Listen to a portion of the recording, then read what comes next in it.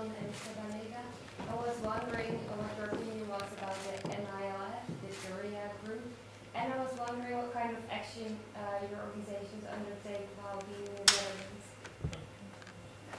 First of all, your opinion about Your the opinion MLF. About MILF and what your organization is doing in the Netherlands. Uh, Well, I don't know about my organization, but uh, I will not deny that I am the chief political consultant of the National Democratic Front in peace negotiations uh, with the Philippine Mhm. government. And uh, I should have also mentioned the, the initiatives being taken by the NDF in peace negotiations to uh, fight the foreign mining uh, companies and to uh, stress the need for national industrialization. Now, about the relationship of uh, my organization in or specifically, uh, I, I belong to so many organizations, professional ones, and uh, uh, associations of compatriots and so on. Uh, now, but I will focus on the most, uh, what I consider the most uh, important political organization that has an alliance with the um, Moro Islamic Liberation Front. That's the National Democratic Front of the Philippines.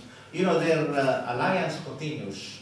And um, uh, this is from the viewpoint of the NDFP. Uh, that is based on principle. It respects the Moro people's right to self-determination. And then um, um, I should also mention practical factors. You know, the two sides uh, have armies um, uh, near the same border. And if they don't have any alliance, no coordination, then these two forces that are fighting the same government could be the ones colliding. So uh, that's that practical need. And um, I want, uh, so I mentioned two important reasons why the NDF is um, uh, having an alliance with the MILF, and the MILF appreciates that. Thanks for dealing with this issue. With the Moro, uh, here in the, in the Netherlands, is there an organization here in the Netherlands dealing with the Moro? I'm not aware, but I, I'm, I know individual Moros uh, who have loyalty to the MILF. And uh, uh, I think once upon a time, a few years ago, there was an imam, a Islamic um, teacher in uh, The Hague. But uh, so far, I haven't heard of any replacement. But the question will be, in what way do they efficiently and effectively defend themselves? I mean, what I find very difficult is uh, the Philippines being such a heavily militarized country that anyone who opposes takes up arms very quickly, and that's that's a waste of resources, of energy, of life together.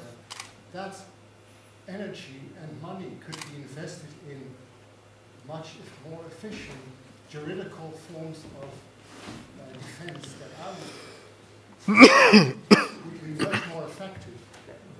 Bearing arms waste of resources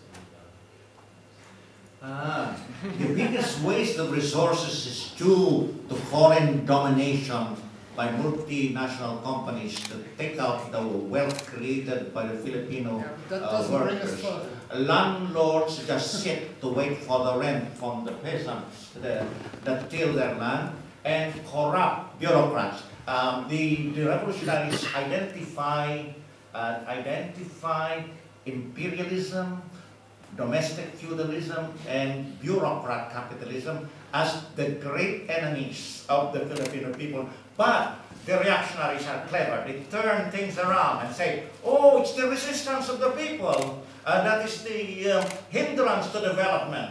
Well, you give uh, all the chances of those three devils to uh, uh, perform their jobs on the, on the Philippines, and the people stop fighting, then you will still have underdevelopment and uh, super enrichment by a few. I, I'm, I, I want to stress that I can fully understand why people take part.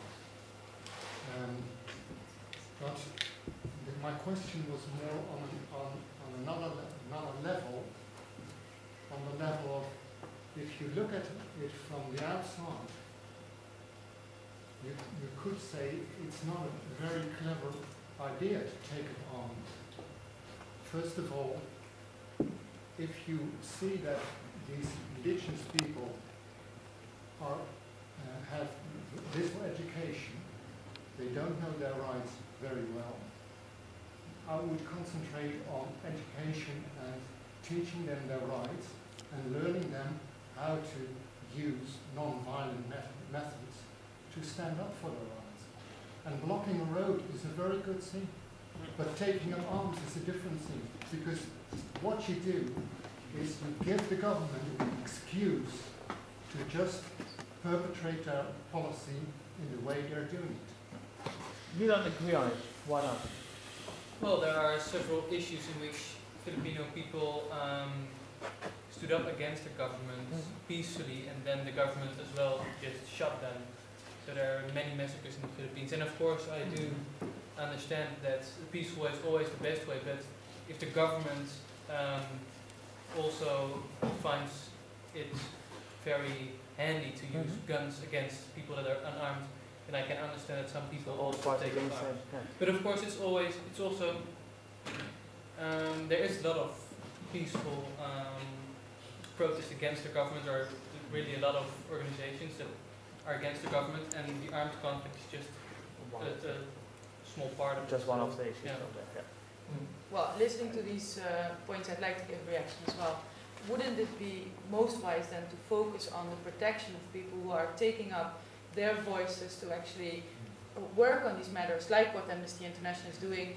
They're taking up the murder of one activist as voicing out for others to protect activists in their struggle against uh, foreign companies, against uh, the army of the government, against other rebel groups that are violating their human Mhm. rights. Would that not be the international focus that we all should be dealing with, as in peaceful, a peaceful way to to stand up against international and national and local forces? Yeah, I think you will agree on it. Sure. Yes. One last question from the audience. I have some two hands, so I'll take you. Uh, yeah, slightly related to this, but I sorry I came back to my first point. This all s- seems to a mining company, a foreign mining company, the ideal situation to completely exploit the country because you have the people against the government, which is a continuum of violence, in which in many other different countries as well, is the ideal situation for a foreign company to completely strip the country of its of its uh, um, of its resources. So I mean, I'm sorry, I'm asking the question again, but the, the company here seems to have a really big responsibility that should be pushed down and maybe more, rather than this continuum of violence which has been going on for years already and seems just really, really difficult to solve. And the hope lies in the struggle of the Filipino people um, for their rights and interests against um, uh, foreign and feudal domination and for uh, national and social liberation. It, the, the future is in their hands if um, uh, they don't fight, as I don't expect them not to, uh, then uh, all the, the wrongs would uh, persist. Uh, but it's uh, fortunately there are already organized forces, including a revolutionary party of the proletariat, no, and so many mass organizations. So the people will go on fighting until they have a better uh, what would you- system. What would you advise to the international organizations or the international community to focus more on the companies, as, as, uh, as, as he said, or to focus more uh, on the government? Uh, well, the attention must be given to both the external and internal forces that uh, act against the interest of the people. Um, well, um, uh, the people on the ground should be able to, to rise up and assert what is right uh, in defense of their rights and interests. And of course, uh, uh, you know, there's a saying, if the landlord is in the town, uh, he cannot really impose himself on the tenants. He uses running dogs, overseers. So if the peasant masses can go after, can prevent the, the running dogs from coming, uh, then the landlord will be crippled. he will not be able to impose. Uh, and if the landlord uses force, then the peasants will, will be compelled to use uh, the same kind. It's usually the reactionaries start the, the violence not the people. The people are uh, preoccupied with making a living. They, uh, but extreme abuse, extreme oppression and exploitation uh, rouse them to fight back. José María Sison, Boy Valeta, and uh, thank you very much to share all the experiences.